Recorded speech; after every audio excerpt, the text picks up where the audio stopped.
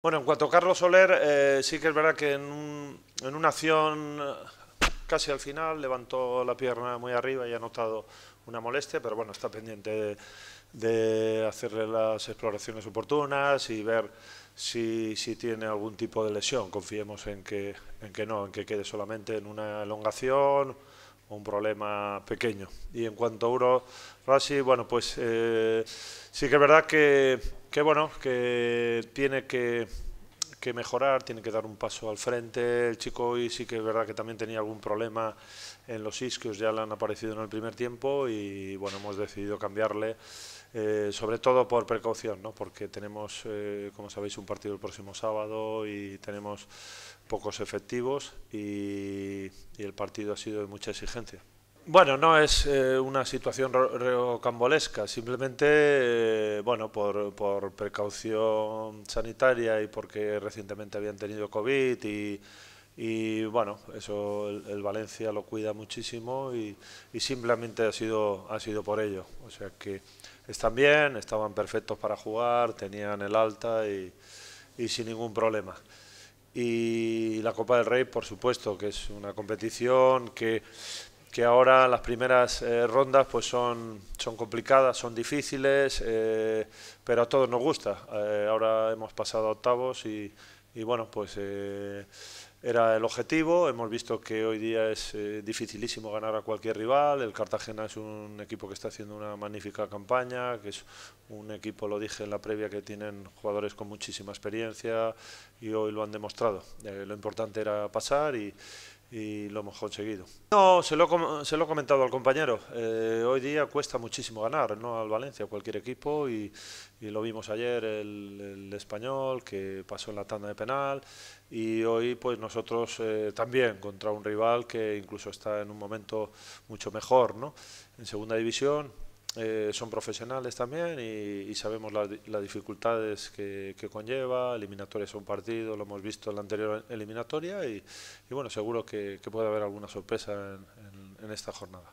Bueno, está claro, me voy contento por el resultado únicamente, eh, no por el juego, ni está claro que, hay cosas que no me han gustado, pero bueno, eh, como he dicho, lo importante era pasar la eliminatoria, lo hemos conseguido. Sí que es verdad que también en el inicio del segundo tiempo, si hubiéramos eh, marcado eh, la ocasión de Elder, pues el partido hubiera cambiado. Y esto es, esto es fútbol.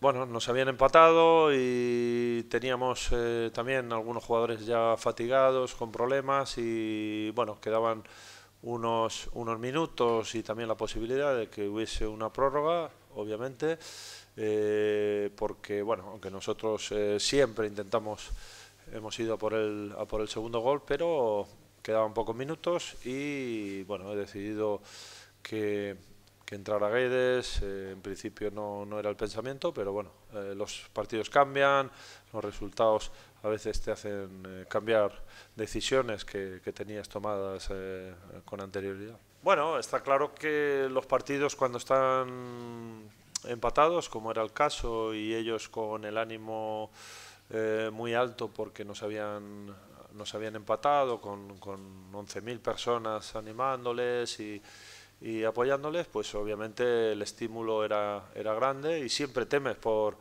porque, el resultado eh, sea adverso, pero, pero bueno, siempre tienes la confianza, pesa más la confianza y el pensamiento de que que podíamos ganar y que podíamos eh, marcar ese segundo gol que ha llegado afortunadamente en, los minutos o en los instantes finales. Bueno, a veces eh, está claro que hemos estamos teniendo muchos problemas, pero eh, muchos jugadores que, están jugando minutos, jugadores que han pasado el COVID, hay que tenerlo muy en cuenta.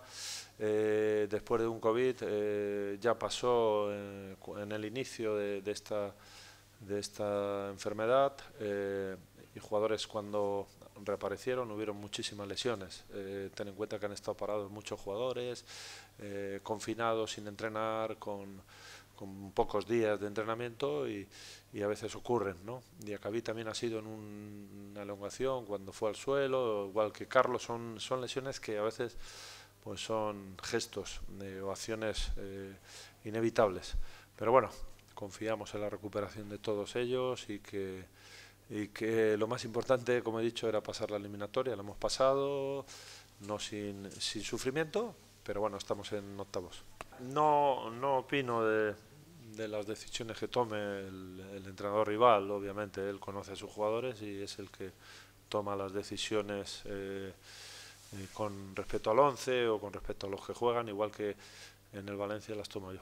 Bueno, pues eh, vamos a ver cómo, cómo está, se le han hecho pruebas y estamos a la espera de, saber resultados. Bueno, es una acción muy, muy lejana y, y no, no puedo opinar. A veces la percepción te hace cometer errores. Eh, por ejemplo, el penal eh, a mí no me pareció, el penal que nos señalaron en contra, eh, pero bueno, al final el árbitro es el que toma las decisiones. A mí la percepción es que Jesús llevaba el brazo pegado, pero bueno, al final no, no estás cerca y no puedes opinar.